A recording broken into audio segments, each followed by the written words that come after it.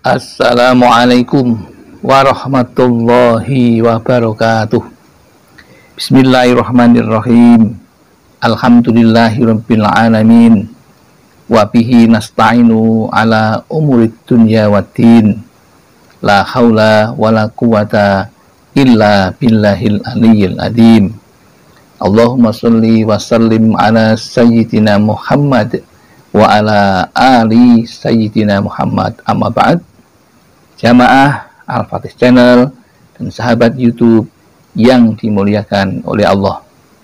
Senang sekali hari ini kita bertemu kembali dalam keadaan sehat walafiat. Semoga semua ini menjadi awal kegiatan kita untuk meraih ridha Allah Subhanahu wa taala. Maka mari kita syukuri dengan mengucapkan alhamdulillahirabbil alamin.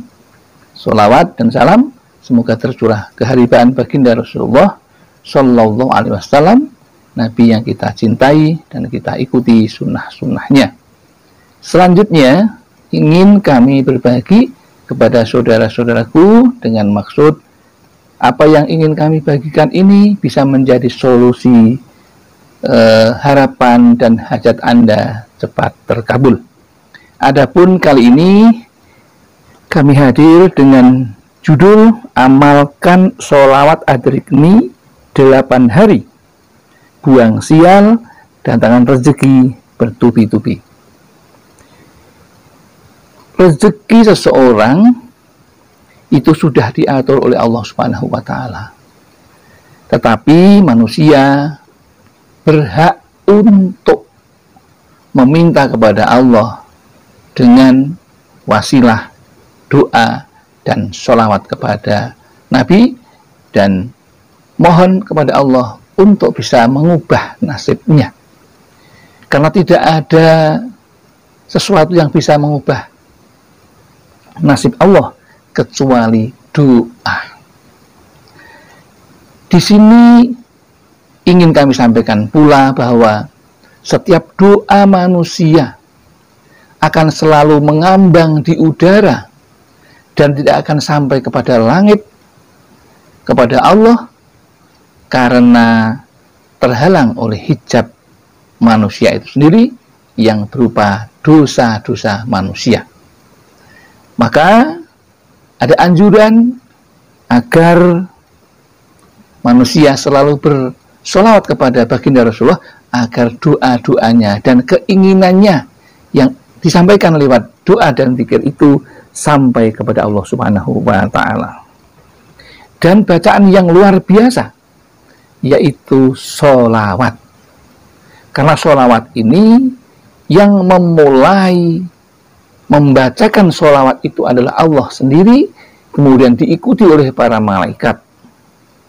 Mengapa demikian? Karena kemuliaan Nabi Muhammad, sehingga Allah juga menghormatinya, mengasihinya. Sehingga siapa pun yang berdoa dengan bersolawat, maka doanya akan didengar dan diijabah oleh Allah Subhanahu wa taala.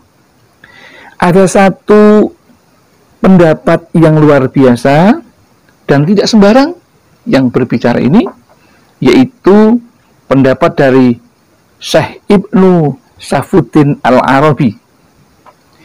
Beliau mengatakan barang siapa membaca sholawat adrikni seribu kali pada malam Jumat dan dilanjutkan pada malam-malam berikutnya hingga hari Jumat. Sebanyak seribu kali atau delapan hari berturut-turut maka akan dikabulkan hajatnya. Ini yang perlu kita garis bawahi bahwa dengan membaca sholawat adrikni seribu kali setiap malam selama delapan malam mulai dari Jumat kemudian nanti selesai pada malam Jumat berikutnya. Insya Allah apa yang dihajatkan akan dikabulkan. Yang ingin mendapatkan rezeki Insya Allah rezeki akan dimudahkan Allah subhanahu wa ta'ala. Di lain pihak ada satu pendapat dari khasiat lain dari Solawat adrikni yang luar biasa adalah orang yang mengamalkan solawat adrikni rutin 10 kali pada pagi hari dan sore hari atau setelah subuh dan setelah sholat maghrib akan mendapatkan rezeki yang melimpah akan dibuka mata batinnya oleh Allah dan bisa membuang sial atau balak yang akan menimpa seseorang dan juga untuk menyembuhkan orang sakit. Jadi manfaatnya sholawat adrikni ini sungguh luar biasa banyaknya karena keampuhan dari sholawat adrikni tersebut.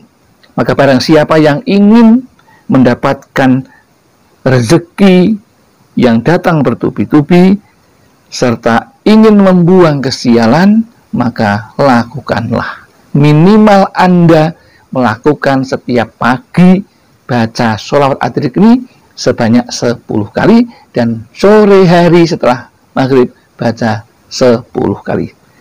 Lalu seperti apakah wujud bacaan dari sholawat adrikni ini? Bunyinya adalah demikian Bismillahirrahmanirrahim As-salatu wassalamu alaika Ya Sayyidi Ya Rasulullah Khudh biyadi Qad qad khailati adrikni Yang artinya Rahmat dan sejahtera Semoga dilimpahkan kepadamu Wahai junjunganku Rasulullah Shallallahu Alaihi Wasallam, peganglah tanganku. Sungguh sempit upayaku, maka temukanlah aku. Memang di sini ada perbedaan yang biasa kolat khilati. Yang kami sampaikan adalah kodokot khailati. Kodokot, sungguh sempit upayaku jadi ada perbedaan di situ. Kami ulang lagi Bismillahirrahmanirrahim. Allah As-salatu wassalamu alaika ya sayyidi ya Rasulullah khudh biyadi qad khailati adrikni. Dan kami mendapatkan ini juga tidak sembarangan. Karena kami memperoleh ijazah ini dari guru kami Syekh Mas Duki yang punya putra bernama Gus Hakim Mas Duki yang kami terima redaksinya seperti itu. Demikian yang dapat kami sampaikan. Mudah-mudahan ada manfaatnya dan membawa berkah bagi kehidupan kita dan juga mendapatkan syafaatul uzmanya karena kita orang yang mencintai Rasulullah dengan banyak bersolawat kepadanya ada kesalahan, kekhilafan, kami mohon maaf yang setulus-tulusnya. Semoga Allah mengampuninya. Akhirul kalam, bila taufiq wal hidayah wal inayah wal barakah. Wassalamualaikum warahmatullahi wabarakatuh.